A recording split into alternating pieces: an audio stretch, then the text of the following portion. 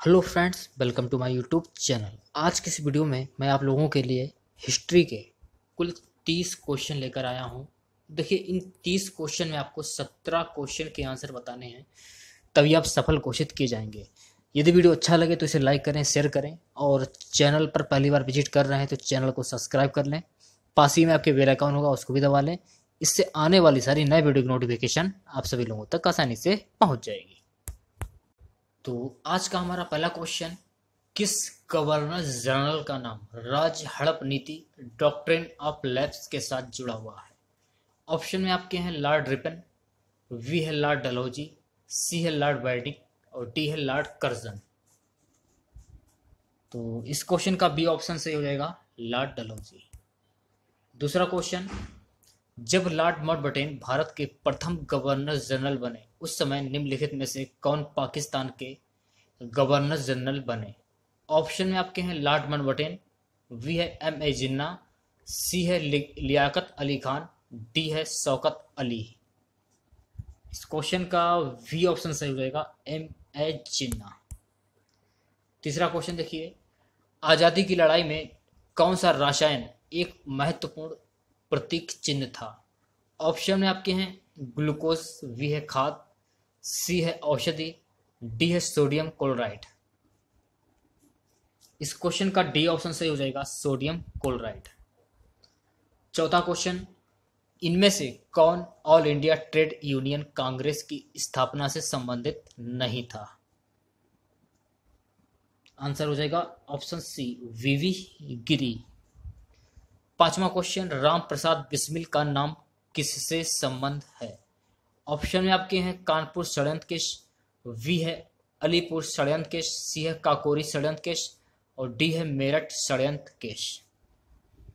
तो इस क्वेश्चन का सी ऑप्शन सही हो जाएगा, काकोरी षडयंत्र केस यदि आप लोगों को वीडियो अच्छा लगे तो लाइक करें शेयर करें और चैनल को सब्सक्राइब करें। छठा क्वेश्चन निम्नलिखित गवर्नर जनरलों में से किसने टीपू सुल्तान के खिलाफ त्रिपक्षीय गठजोड़ किया था?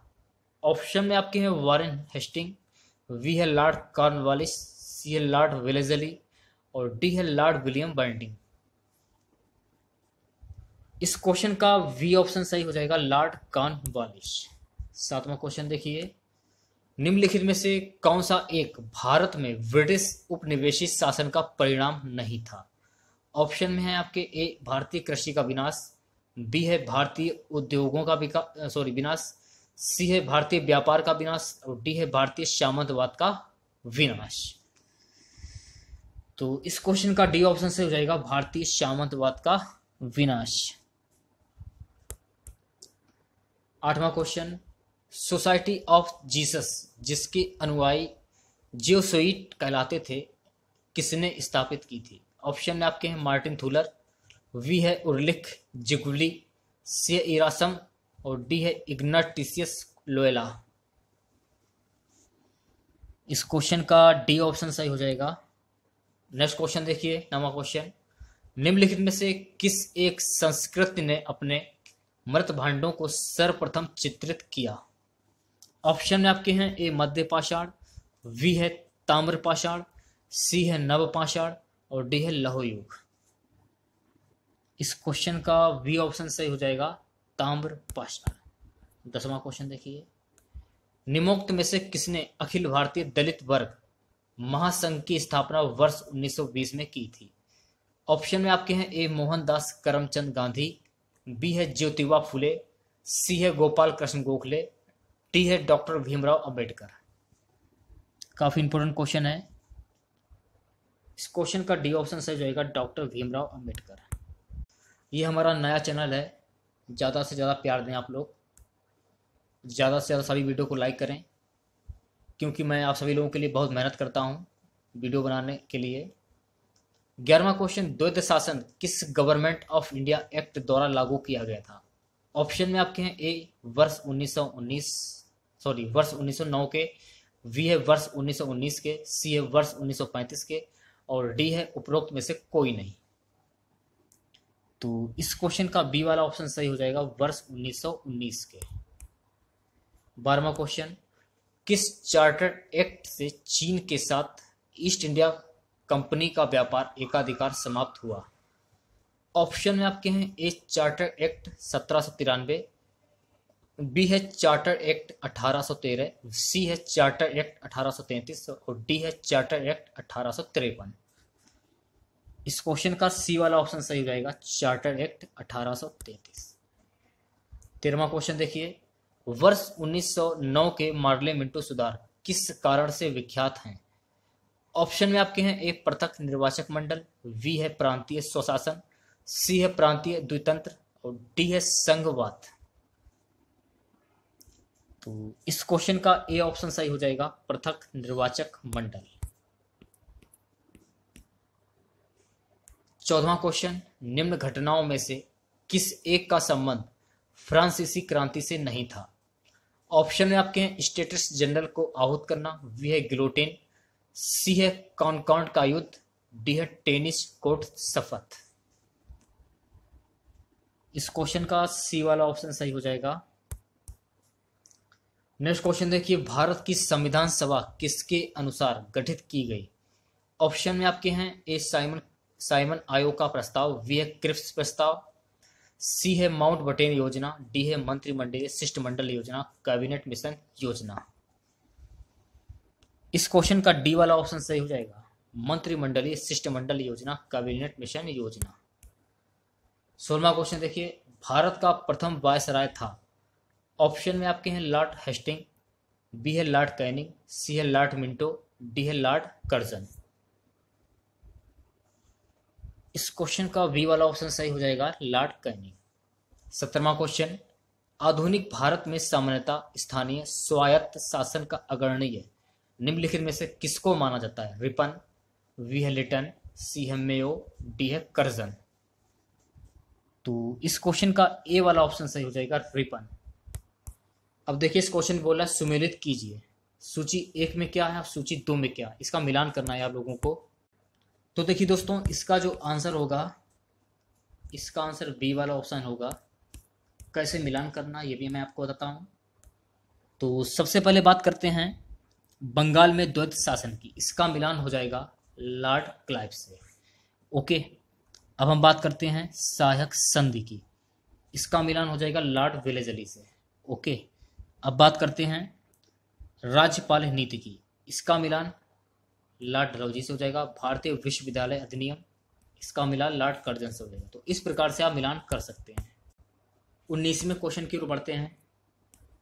तो उन्नीसवा क्वेश्चन है, भारतीय राष्ट्रीय कांग्रेस के प्रथम अधिवेशन की अध्यक्षता किसने की थी? ऑप्शन में आपके हैं doctor A O Hume, B है डब्ल्यू सी बनर्जी, सी है सुरेंद्रनाथ बनर्जी और डी है बरीउद्दीन तैयब जी तो इस क्वेश्चन का बी वाला ऑप्शन सही हो जाएगा डब्ल्यू सी बनर्जी बीसवा क्वेश्चन अंग्रेज़ों द्वारा बंगाल विभाजन, बंग भंग को कब रद्द किया गया?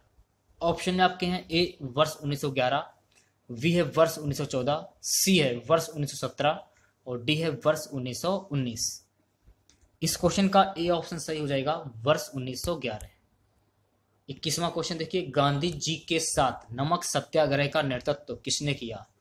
ऑप्शन है आपके हैं, ए, एनिवेशन वी है मृदुला साराभाई, सी, है मृत्यु लक्ष्मी, डी, है Sarojini Naidu. Option D, Sarojini Naidu. बाईसवा question, वर्ष 1919 में जलियावाला बाग हत्याकांड कहाँ पर हुआ था? ऑप्शन में आपके हैं, A, Amritsar B Nagpur, C, Chandigarh D Calcutta. Jallianwala Bagh हत्याकांड, ये कहाँ पर हुआ था? ये हुआ था अमृतसर में। अगला क्वेश्चन देखिए, भूदान आंदोलन किसने प्रारंभ किया था? ऑप्शन में आपके हैं, ए महात्मा गांधी बी है जयप्रकाश नारायण सी विनोबा भावे डी है राम राम मोहर लोहिया। तो इस क्वेश्चन का सी वाला ऑप्शन सही हो जाएगा। भूदान आंदोलन विनोबा भावे ने प्रारंभ किया था। चौबीसवा क्वेश्चन, निम्नलिखित में से किसने सभी तीनों गोल मेज सम्मेलनों में भाग लिया?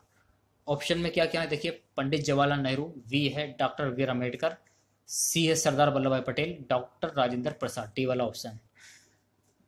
इस क्वेश्चन का बी वाला ऑप्शन सही हो जाएगा, डॉक्टर वी आर अंबेडकर